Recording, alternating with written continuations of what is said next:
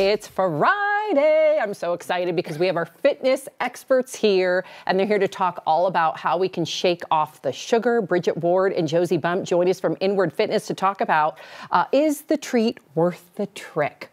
Ooh, this is good. So let's first kick it off with candy consumption.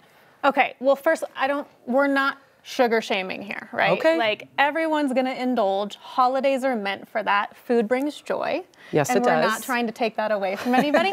we're just trying to offer a little perspective around what you consume, what does that equal, and how much physical activity you would actually need to do to, to burn that energy. So it's quite eye-opening, actually. What would like one Snicker bar be?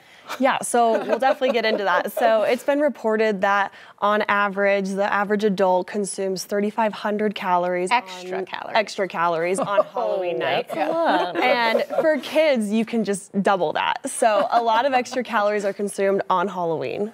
Right. So what do you do? Is, is there, should you be like doing something on the day or after? Do you need a plan of action? Yeah, we definitely have some tips and tricks. We want to kind of give you a some food for thought before that, Okay. though.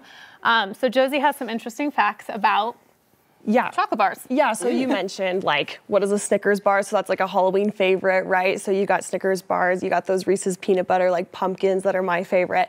Um, so an average like candy bar is 55 to uh, 100 calories, right? So if you put that into Like the little ones The or the big ones? the mini minis. ones, Oh yeah, like the fun size ones. So if that you adds put that up quick. yeah, it, it adds up quick and it's sneaky too. So if you put that into perspective, if you eat 10 of those mini chocolate bars, that would equal to doing around 2,000 jumping hmm, jacks. 2,000? So 2,000 jumping jacks. And I don't know about you, but my calves are sore after 100, so I'm not doing 2,000 jumping jacks, right? Mine are sore after like 30, so I'm oh nervous. Yeah, And then, absolutely. and you know, when you go to Halloween parties, there's bowls of candy corn. You've right? been to my Halloween I party. I bowls everywhere. There's bowls of candy, and like the candy corn, traditional Halloween candy, super easy to scoop and get a handful and just mm-hmm. pop them in your mouth. Mm-hmm. Before you know it, you've had 20, 40. Mm. 20 candy corns is 150 calories. That doesn't sound that bad, but when you think you have to almost run two miles to burn that off. Are you serious?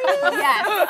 I know I've had like 30 candy corn today already. yeah, you already had your candy corn Yes, I today. did. That is that's true story. So and I- Whoa. part of it is we're consuming this at night too, for the most part, right? Mm-hmm. And you don't have the time to to go run your two miles or do 2,000 jumping jacks or whatever you need to do to utilize that energy. If you are consuming earlier in the day, you're utilizing that energy throughout the day.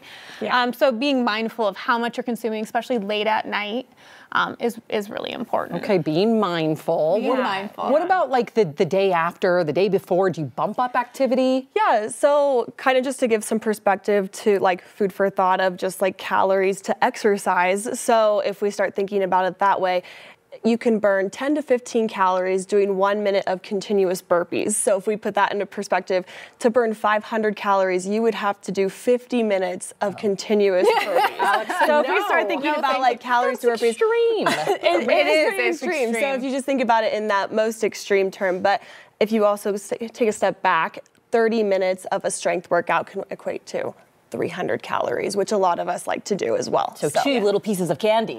Yeah. yeah.